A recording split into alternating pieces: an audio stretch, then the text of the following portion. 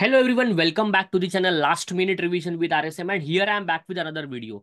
So this video will be helpful for all the students who are going to attempt TY BCom semester 6 from Mumbai University and आज के video में हम discuss करेंगे the subject of financial accounting. So तो हम discuss about discuss करेंगे हम ये भी डिस्कस करेंगे कि एग्जैक्टली exactly ऐसे आपको कौन से टॉपिक्स स्टार्टिंग में पढ़ने हैं। बहुत सारे बच्चे फाइनेंशियल अकाउंटेंसी का जो सब्जेक्ट है उसके लिए डरते हैं। बहुत सारे बच्चों को इस सब्जेक्ट में केटी भी लगती है।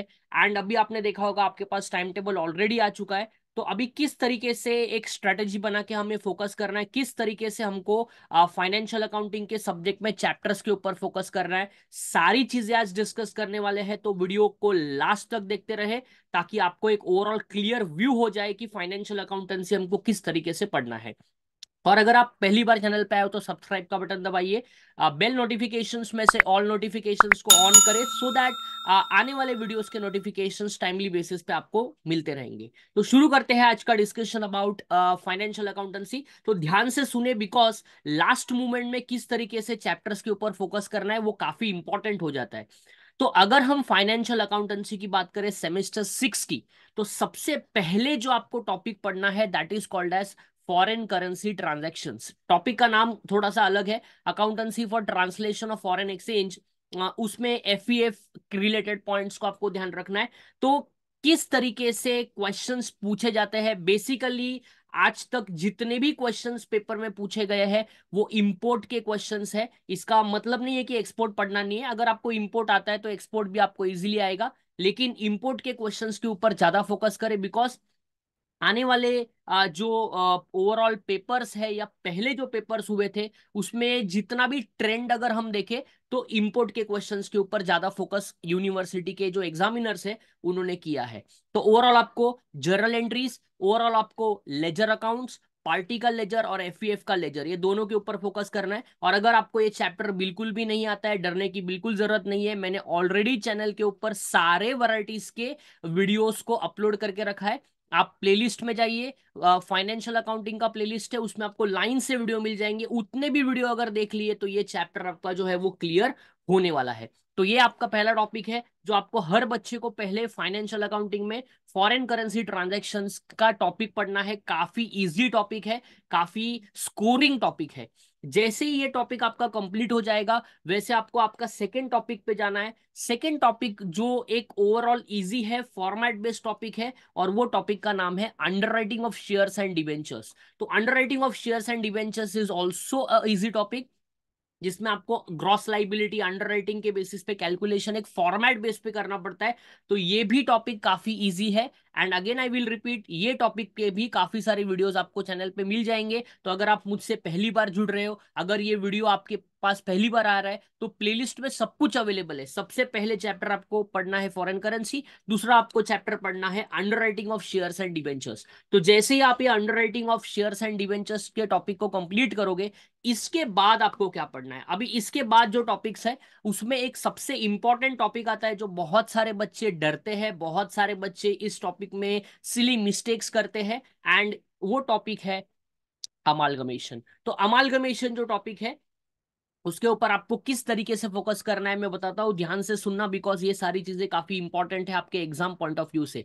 नंबर फ़र्स्ट अमालगमेशन में सबसे पहले जो आपको फोकस करना है, वो है journal entries in the books of new company तो न्यू कंपनीज़ के बुक्स में आपको जर्नल एंट्रीज पे फोकस करना है, लेकिन ये चैप्टर का एक जो बेस है बेस क्या है?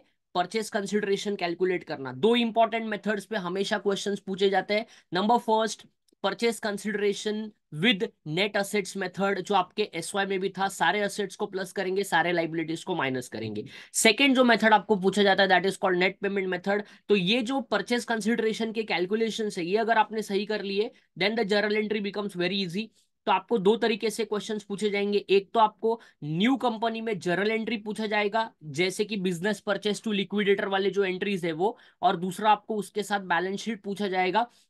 ये लेवल आपको पूछा जा सकता है, या फिर दूसरा लेवल आपको पूछा जा सकता है, जिसमें आपको लेजर अकाउंट्स पूछे जा सकते हैं, जैसे कि रियलाइजेशन अकाउंट है जो इक्विटी शेयर होल्डर्स अकाउंट है, ये सारे आपको पूछे जा सकते हैं। तो दोनों वैरायटीज को आपको पढ़ के रखना है ऑप्शन में बिल्कुल नहीं रखना है। अमलगमेशन टॉपिक काफ़ी इजी है, लेकिन उसमें सिली मिस्टेक्स हमारे परचेस कंसिडरेशन में होते हैं सो हमारे मार्क्स उसमें से चले जाते हैं। That is your chapter of amalgamation जैसे ही आपका अमलगमेशन टॉपिक कंप्लीट हो जाता है, उसके बाद आपको छोटे छोटे टॉपिक्स है जिसके ऊपर फोकस करना है, उस पर भी वीडियोस मैंने ऑलरेडी बनाए। एक आपका चैप्टर है कॉल्ड एज लिक्विडेशन तो लिक्विडेशन जो टॉपिक है काफ़ी सिंपल है। उसमें आपको लिक्विडेटर्स का फाइनल स्टेटमेंट बनाना पड़ता है। वो एक चैप्टर को आप ध्यान से करके रखें बिकॉज़ उसमें आपको फुल मार्क्स मिलने की प्रोबेबिलिटी है।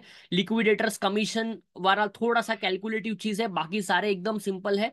उसके भी वीडियोस आपको चैनल पे मिल जाएँगे प्लेलिस्ट को देखिए। एमसीक्यूज भी बनाए हुए हैं, वो भी देख के जाइए। आपको सब कुछ मिल जाएगा इस चैनल के ऊपर टीवाई बीकॉम सेमेस्टर सिक्स से रिलेटेड और everything is free of cost और अगर आप और कुछ एक्स्ट्रा चीज़ पढ़ना चाहते हैं तो last minute revision with RSM का ऐप डाउनलोड करना ना भूले। ऐप अवेलेबल है प्ले स्टोर में लिंक डिस्क्रिप्शन में अवेलेबल है। इसके बाद इसके बाद जो हमारा टॉपिक है, वो भी एक ऐसा टॉपिक है जो फाइनल अकाउंट्स बेस है and that is called as LLP limited liability partnership तो ये एलएलपी जो टॉपिक है एलएलपी में आपको क्या फोकस करना है? एलएलपी बेसिकली फाइनल अकाउंट्स है वो, और उसमें दो तीन लेवल्स है। तो वो चैप्टर पे आपको बिल्कुल डरने की ज़रूरत नहीं। The reason is very simple जितना भी पोस्टिंग आप सही करेंगे, उतना आपको उसमें मार्क्स मिल सकता है। तो अकॉर्डिंगली अगर आप इन टॉपिक्स को, जैसे मैंने सीक्वेंस वाइज बताया, वैसे अगर आप पढ़ोगे तो that will help you a lot to attempt all the chapters from your T Y BCom semester six तो ये सारी चीज़ें आप इजीली अटेम्प्ट कर पाएँगे। तो वो आपको ध्यान रखना है। और जैसे मैंने आपको टॉपिक्स बताए, उसी से बेस पे पढ़ते जाए। तो जो लोगों को ये डर लग रहा है कि फाइनेंशियल अकाउंटिंग का सब्जेक्ट जो हमारा फ़र्स्ट पेपर है, हम उसमें कैसे पास हो पाए तो मैंने जितने वीडियोस बनाए, आप एक बार देखिए। आप सारे वीडियोस भी अगर एक बार देख के जाएँगे तो आप इजीली इसमें से पास हो जाएँगे। ऐसे ही आपको अभी अगला जो वीडियो मिलेगा that will be on cost accounting तो कॉस्ट अकाउंटिंग का वीडियो आपको मिलेगा।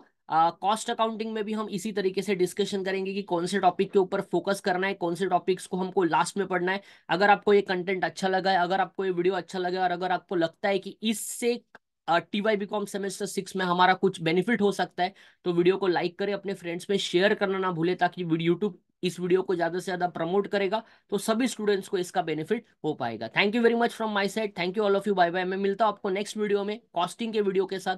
Thank you all of you bye bye take care